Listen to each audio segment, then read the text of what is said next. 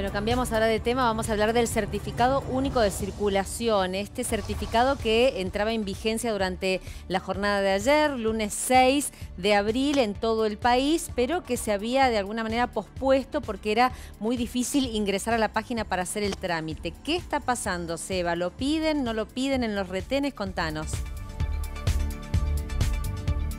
Nunca está de más, evidentemente, Dani pero lo cierto es que en Mendoza todavía hay una posibilidad aún más que es la de la declaración jurada que rige nuestra provincia. Nos encontramos con Roberto Munives, el jefe de la policía de Mendoza, para saber a ciencia cierta cuáles eh, los requisitos, cuáles son los requisitos que se nos está pidiendo a los mendocinos para circular.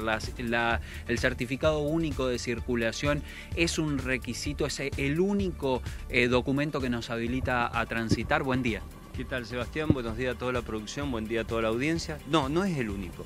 Eh, lo afirmo y lo reafirmo en ese concepto, no es el único elemento o instrumento o documento que nos posibilita circular y a dar la excepción de circulación y de libre tránsito por la vía pública. Al contrario, nosotros tenemos desde el principio, desde el día 20 de marzo, recordemos que el decreto de necesidad y urgencia, el 297, en el, en el artículo quinto, inciso sexto, da las excepciones, las primeras 24 excepciones que después fueron flexibilizándose y se fueron ampliando.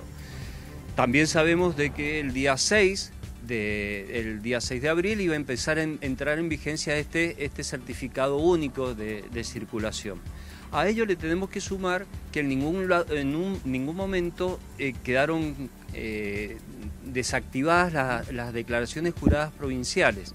Nosotros tenemos declaraciones juradas de certificación para la circulación de carácter provincial y ahora también tenemos el certificado nacional. Como nosotros entendemos de que existió cierto inconveniente a nivel mm, provincial y nacional en lo que hacen los ingresos a, las páginas de internet para imprimir esas declaraciones juradas, desde el gobierno de la provincia, el señor gobernador, el señor ministro y, todo el gabinete, eh, estimó prudente y conveniente que tuviésemos cierto grado de flexibilización. Esa flexibilización está concentrada en que vamos a seguir admitiendo tanto las declaraciones juradas provinciales como la de carácter nacional. Pero yo quisiera hacer un poco, avanzar un poco más sobre ello y recién ensayaba contigo, Sebastián, una frase. No es la liberación del ejercicio de un derecho personal, sino una excepción a una obligación de carácter general. ¿Qué quiero decir con esto? Técnicamente es que la excepción es el salir a la calle, porque la obligación es quedarse en resguardo de la cuarentena y del aislamiento social.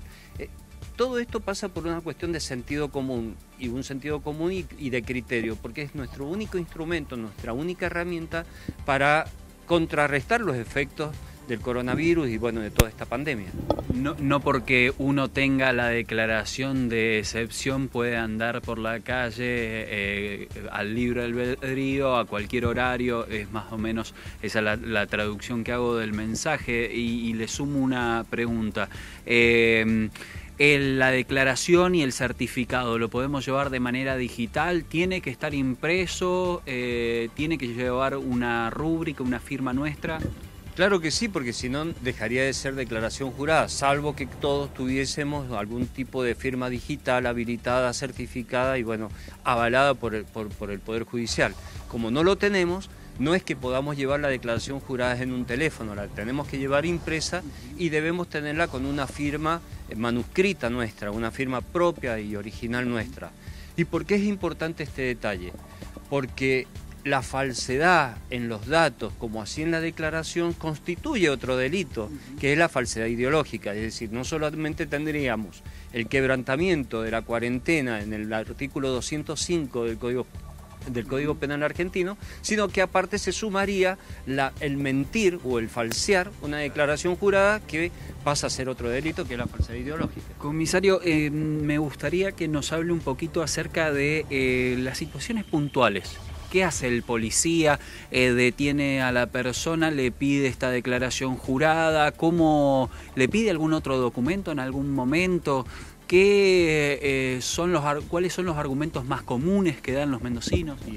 Ayer, en, el día de ayer, bueno, con una compañera de ustedes, con Vanina Vitale, pero también el señor Fernando Hidalgo, habíamos, habíamos hablado sobre este detalle muy particularmente.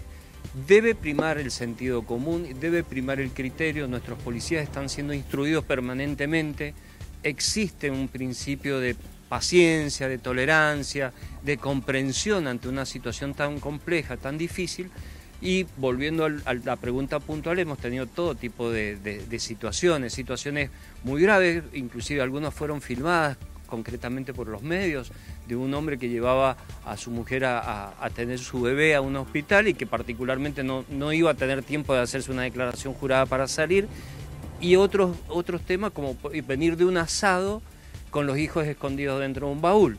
Es decir, tenemos situaciones de todo tipo esto de tener situaciones hace que nosotros también tomemos medidas objetivas y concretas. Por ejemplo, se dio el caso de algunas, algunas situaciones que no eran eh, contrastables con la realidad, en donde el policía pudo acompañar a la persona a ver si era cierto o no era cierto, y en verdad era cierto, no hubieron mayores situaciones. Otros no, tuvimos un caso de un médico que fue a visitar a un amigo antes de ir al hospital y no, no era el sentido de su salida a la calle primaria, primordial y única el ir al hospital, fue a saludar a un amigo. ¿Qué quedan detenidos? ¿Cuándo ustedes consideran, bueno, esta persona evidentemente tiene que ser imputada? Mire, hemos tenido casos eh, de, características muy particulares. Eh, eh, cuando el sentido común, el criterio y justamente la sapiencia que aplica el personal policial en, la vía pública, uno se está dando cuenta que hay un quebrantamiento. Situaciones, por ejemplo, reuniones de amigos en una esquina, naturalmente ha habido un quebrantamiento del artículo 205 y queda demostrado Recordemos que este, esta comisión delictiva, esta acción típica, es todo infraganti, es decir, no es que haya una investigación, eh, todos son contrastados con los hechos puntuales y están infraganti de la comisión delictiva. Tenemos situaciones complejas, por ejemplo, a ver, una situación que se dio anoche de dos personas que estaban ocultas en un lugar eh, eh, en una situación relativamente de, carácter íntima, que no hace al artículo 205, es decir, que había un quebrantamiento, fue en el sur, que, seguramente ustedes después van a tomar eh, debida situación de, esa de, ese hecho puntual. Esas situaciones, inclusive hemos tenido efectivos policiales que, deberían haber dado el ejemplo, que deberían haber sido mucho más celosos en el cumplimiento de esta cuarentena y que estando de parte de enfermos han hecho quebrantamiento, no solamente del parte de enfermos, que es una cuestión netamente administrativa, sino también el quebrantamiento de estar en la vida pública en el momento de cuarentena sin ningún tipo de excepción. Muchas gracias. Muchas gracias a vos, Sebastián. Gracias a todos. Bien, las palabras entonces del jefe de la policía hablando acerca del certificado único de circulación y las declaraciones juradas. También aquí en Mendoza está esa posibilidad. Tenemos la posibilidad de aquellas personas que se encuentran exceptuadas por su actividad laboral a circular que lo hagan tanto con el certificado nacional como con la declaración jurada, impresa y firmada.